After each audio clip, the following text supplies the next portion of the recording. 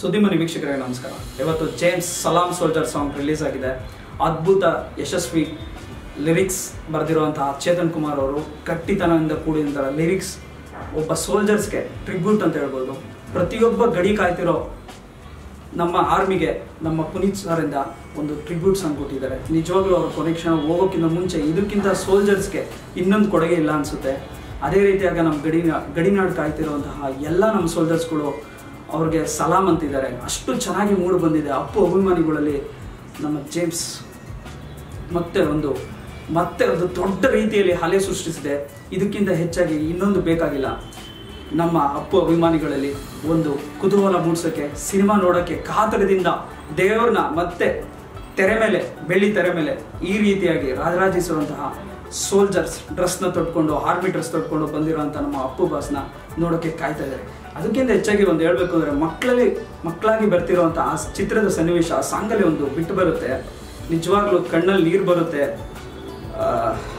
ಹೇಳ, ಹೇಳೋಕ್ಕಾಗಲ್ಲ ಆ ರೀತಿ. ಮಕ್ಕಳು ಮಕ್ಕಳ ಜೊತೆ ಆಡ್ತಿರೋದಿರ್ಬೋದು ಸೋಲ್ಜರ್ಸ್ ಜೊತೆ ಅಸ್ಟಂಟ್ ಮಾಡಿರೋ ರೀತಿ ಇರ್ಬೋದು. ಮತ್ತೆ ನಮ್ಮ ಕನ್ನಡ ಚಿತ್ರರಂಗದಲ್ಲಿ ಆಗಲಿ, ಆ ಥರ ಒಬ್ಬ ಸ್ಟಾರ್ ಮತ್ತೆ ಹುಟ್ಬರೋಕ್ಕೆ ಸಾಧ್ಯನೇ ಇಲ್ಲ. ಯಾಕಂದರೆ ಅಷ್ಟು ಅಷ್ಟು ನಿಜವಾಗ್ಲೂ ನನಗೆ ಫೀಲ್ ಆಗ್ತಿದೆ.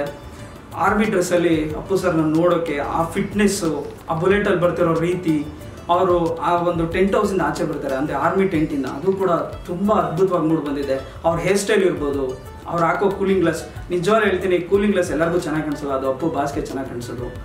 ಅಷ್ಟು ಒಂದು ಫೋರ್ಸ್ ಇದೆ.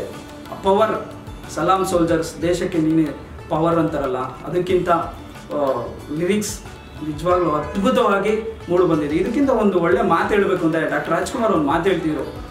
ಅಭಿಮಾನಿಗಳನ್ನ ದೇವರಂತ ಕರಿತಿದ್ರು. ವಿಪರ್ಯಾಸ ಏನು ಅಂತಂದರೆ ಅದೇ ಅಭಿಮಾನಿಗಳು ಇವತ್ತು ನಮ್ಮ ಅಪ್ಪು ಸರ್ನ ದೇವರು ಅಂತ ಪೂಜಿಸ್ತಾರೆ, ಆರಾಧಿಸ್ತಾರೆ. ತುಂಬ ಒಂದು ಮನ ಮುಟ್ಟುವಂಥ ಕ್ಷಣ ಇದು. ಆದರೆ ಎಲ್ಲ ಅಭಿಮಾನಿಗಳನ್ನ ರಂಜಿಸೋಕೆ ಇದೇ ಮಾರ್ಚ್ ಹದಿನೇಳಕ್ಕೆ ಜೇಮ್ಸ್ ಕಾತುರದಿಂದ ಕಾಯ್ತಿರೋ ಅಭಿಮಾನಿಗಳನ್ನು ಮುಂದೆ ಬರೋಕ್ಕೆ ನಮ್ಮ ಬಾಸ್, ಅಪ್ಪು ಬಾಸ್ ಬರ್ತಾ ಇದ್ದಾರೆ. ಎಲ್ಲರೂ ನೋಡಿ ಏನು ಲಾಸ್ಟ್ ಮೂವಿ ಅಂತ ಹೇಳ್ಬಾರ್ದು ಆ್ಯಕ್ಚುಲಿ ಇದು. ಬೇರೆ ಬೇರೆ ಚಿತ್ರಗಳಿದೆ ಬಟ್ ಪೂರ್ಣ ಪ್ರಮಾಣದ ನಾಯಕನಾಗಿ ಇದು ಕೊನೆ ಚಿತ್ರ ಆಗಿದೆ. ಆ ಮುಗ್ಧತೆ, ಆ ಫೋರ್ಸ್ ಆ ಪವರ್ ಮತ್ತೆ ನಾವು ನೋಡಕ್ಕೆ ಸಿಗೋದು ಇದೇ ಕೊನೆ. ಆ, ಹೇಳೋಕೆ ತುಂಬ ನಿಜವಾಗ್ಲೂ ದುಃಖ ಆಗ್ತಿದೆ. ಬಟ್ ಅದಕ್ಕಿಂತ ಹೆಚ್ಚಾಗಿ ಏನು ಹೇಳ್ತಾರೆ ಜೇಮ್ಸ್ ಒಂದು ಪ್ಯಾನ್ ಇಂಡಿಯಾ ಮೂವಿಯಾಗಿ ಹೊರಹೊಮ್ಮಿದೆ. ಜೈ ಹೋ ಸಾಂಗ್ ಇದೆಯಲ್ಲ ಹಿಂದಿ ಒಳಗೆ ಬಂದಿತ್ತು.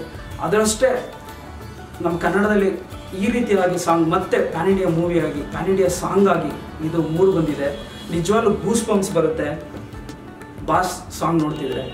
ಎಲ್ರಿಗೂ ಚಿತ್ರಮಂದಿರ ಎಲ್ಲರೂ ಕೂಡ ಚಿತ್ರಮಂದಿರಕ್ಕೆ ಬಂದು ಮಾರ್ಚ್ ಹದಿನೇಳು ಸಿನಿಮಾ ರಿಲೀಸ್ ಆಗ್ತಿದೆ. ಬನ್ನಿ ನೋಡಿ, ನೀವು ಕೂಡ ಖುಷಿ ಪಡಿ. Thank you